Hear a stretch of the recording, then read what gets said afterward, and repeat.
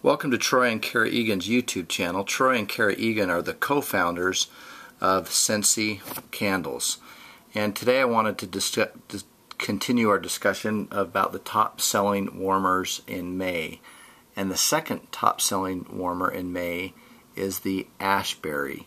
Um, this is just a gorgeous, these uh, flowers are hand painted on. Um, it just has a natural taupe classic shape to it. Um, the colors are beautiful. The block daisies are just beautiful, kind of a retro look on the daisies.